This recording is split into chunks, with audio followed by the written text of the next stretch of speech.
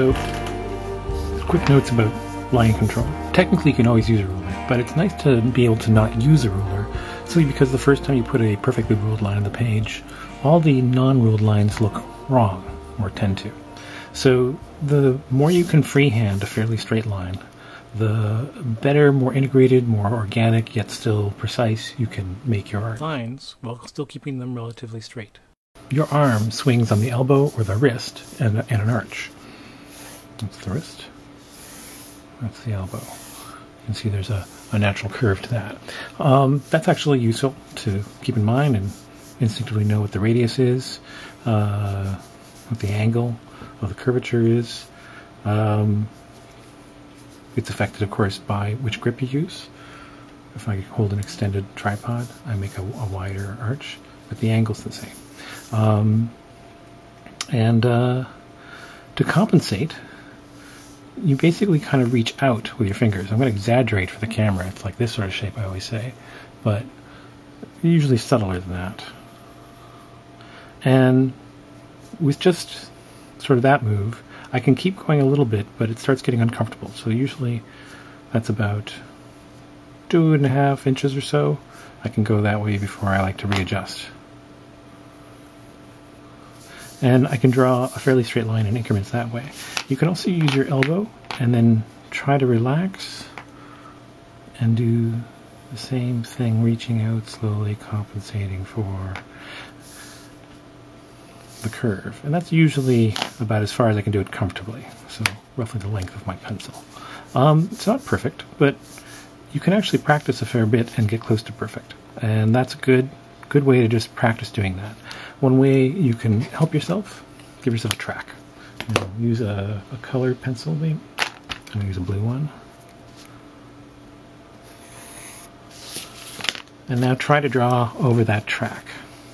Now, I'm positioning my elbow at right angles to this line, like a T.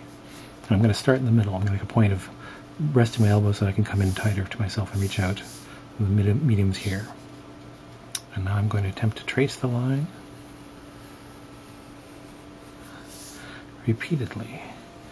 And I want to attempt to not thicken the line as much as possible. Sometimes it will a little bit. If you do anything, try to even those out. But don't get the line super thick. See how it's getting thicker there? I want to watch that. Do it as many times as you can. It's very similar to an exercise you'll have seen from Peter Han, and uh, it's also something that I recall seeing being done a long time ago. It's a very classical draftsman's exercise.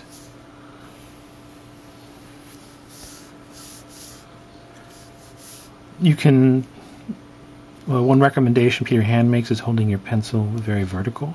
And if I'm not mistaken, he's possibly using a, a Japanese calligraphy grip, or maybe he just thinks vertical. But I was recently, I used to think Japanese or, or, Asian calligraphy pen grips was like with three fingers one side, but it pointed out to me that it's actually this way. And you keep your wrists sort of at right angles to the table. I have to readjust myself. It's a new one for me. I'm still not entirely sure about it, but I do find that it's very comfortable. A little shaky with it because it's a novel one for me. But that's exactly the sort of thing these exercises are for. If you discover a new grip or a new thing, return to them to practice once more and refine your skills. So, you know, do that as many times as you can tolerate. You say 10, 15 times would be good. You can do more if you want to really be crazy, but all uh, dedicated practice should be fairly focused. So I recommend don't do this sort of thing for very long. Uh, you know, four or five times, ten times each should be long enough. Practice some shorter ones. Practice longer ones. See how far you can go with it until it breaks down. Usually a little bit of speed is good for smoothing out wiggles. Once you get comfortable with the movement, making it as a quick stroke and still trying to keep it really straight is the way to up the game. Uh, a little wavy, but you know, this is for. Uh, nice, fairly straight, yet just for line. Great for cartooning, great for drafting in general, and keeping things organic so that when you put that first rude line, it either stands out or, you know, don't have those, and these all have, uh, they look less wrong before that was there. And once I put it there, suddenly all the quirky characters become potentially useful uh, in an expressive drawing. Uh, practice it in some of the grips, like the side for shading. This is the, the overhand.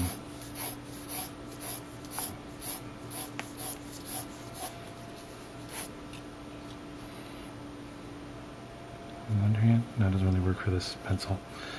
But and these movements are actually coming from my shoulder and elbow. In this case, I'm unfolding my elbow I'm coming forward with my shoulder a bit. And that is a good basic linear control exercise. Oh, yeah, and Patreon you know, if you pledge to my Patreon, you'll help me get my comics done and also free up more time for things like this. Uh, the $1 a month is really helpful. $2 a month, you become a digital subscriber. You get access to all my uh, self published work in future and past via the Patreon. Uh, you also uh, can pledge more to become a student uh, or get sketches. And there's a couple of categories. Go check it out, see if there's something that suits you. Um, thanks this month for patronage support from my amazing patrons for the last year and a half. It's about a year and a half. Uh, there's an anonymous one whom I will not name, but thank you very much for your deep support. Also, Schindler, Dan, Simon, Nicholas, Michelle, Emil, David, Paolo, Nicholas again, Hans, Dubens, Michelle, Joris, Dwayne, Chris, Andrew, Ian, Tony, Tim, George, James, Omid, and Attila thank you all very much for your patronage support on Patreon. It's been really helpful, actually, and uh, uh, hope going forward we can grow this thing into a monster. Well, you know, at least my own personal self-publishing empire. Uh, I like to hope one day that the Patreon will function as sort of a, a, a loose, in-kind sort of subscription to all my comics and things, and we're slowly getting there. So check it out, and uh, I will see you next time, internets. Keep doodling.